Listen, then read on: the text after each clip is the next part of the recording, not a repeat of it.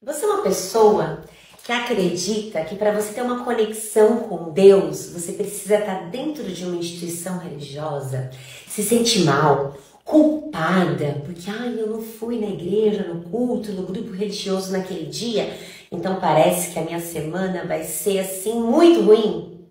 Eu já me senti muitas vezes assim, viu? Vou ser bem sincera com você. Essa cobrança, essa pressão de que se eu não estou ali, Naquele momento, eu não estou em conexão com Deus. Mas, gente, isso é a maior mentira que existe. Nós precisamos, na verdade, fazer o contrário. Nós temos que estar em conexão com Deus todos os dias, em todos os momentos da nossa vida. Porque o que eu mais vejo é pessoas sendo santarrões dentro do seu grupo religioso, mas depois foi para fora, já virou ali, ó, uma negatividade só, já coloca todas as garrinhas para fora, mas eu acho engraçado. Falo, nossa, mas lá no grupo religioso era tão amável com todo mundo. Aí chega em casa e está virado no giraia, com a mulher, com os filhos, com a família. E eu fico inconformada. E eu já me senti assim, sabe? Porque a pressão é a cobrança.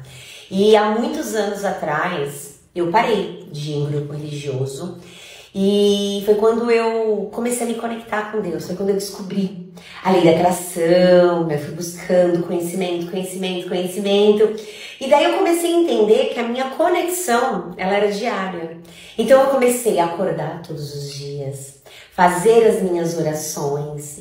Então assim, isso é uma coisa que eu faço todos os dias. Eu tenho um altarzinho na minha casa, onde eu tenho, onde a gente firma nosso anjo de guarda, eu, meu marido, minha filha, onde tem as nossas imagens, onde eu acendo a minha vela. Tem o meu cantinho dos meus guardiões, aqui é um cenário que eu gravo, mas eu tenho um cantinho da minha guardiã, onde eu vou lá, acendo uma vela, converso.